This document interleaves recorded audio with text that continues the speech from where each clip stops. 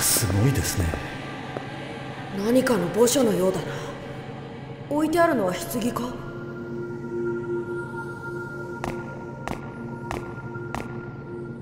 中は空っぽだぜ。洞窟かなんかで荒らされた後なのか？うん。こんな場所に洞窟もないでしょうが。確かに変ですね。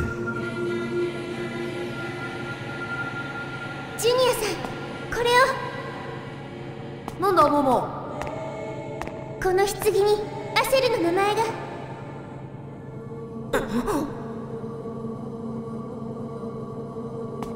こっちにはディノマジかよ。全部イエスの名前じゃねえかよ